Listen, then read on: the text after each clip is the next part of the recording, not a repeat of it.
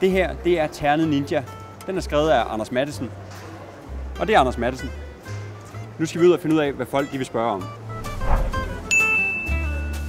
Hej. Hej. I ser, hvem det er? Ja, det er Anders Madsen. Hvad vil I spørge ham om? Øh, øh, øh, gør det godt?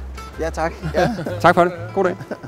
Hvorfor går du sådan rundt på scenen hele tiden, når du snakker? Man sidder der og kigger, og øjnene de farer rundt hele tiden. Hvis jeg står i midten hele aften, så er det rigtig godt for de to første rækker, men så dem, der sidder ude på fløjene, de føler ikke rigtig, at de har nogen kontakt. Hvordan er det kommet fra Albertslund?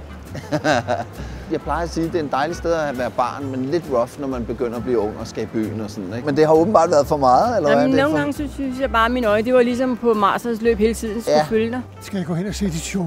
Ja, Du må ned på jorden, ja. men du har lige købt hus til 13 millioner. Hænger det rigtigt sammen? Øh, nej, ikke helt nej. Nå. Men, øh, men jeg har lige købt hus. Hvis du nu måtte stille uh, Anders et spørgsmål, hvad skulle det så være? Ja, det ved jeg godt nok ikke. Ja, Jeg ved jeg faktisk ikke. Han har lige lavet en ny bog. Har du det? Laver du øh, et stand-up show? Ja, det gør jeg i, øh, i aften. Kan man få en billet? Øh, kan I på søndag? Hvad ønsker du dig julegave? Og så må gå en øh, altovase og en, og en bushammer. Ja. Sådan en har jeg aldrig haft mod til at stjæle fra bussen. Kan du lige at være far, Anders? Ja, det kan jeg. Det kan du godt. Ja, det kan jeg. Jeg står og bliver helt skruk.